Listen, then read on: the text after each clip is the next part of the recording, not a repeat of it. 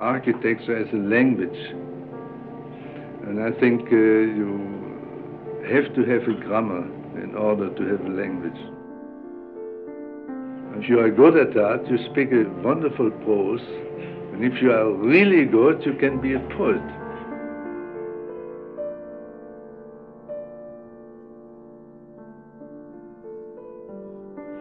Architecture belongs to the epoch and not even to the time, as they say, to a real epoch. That is the essence of the epoch, and that is the only thing we really can express.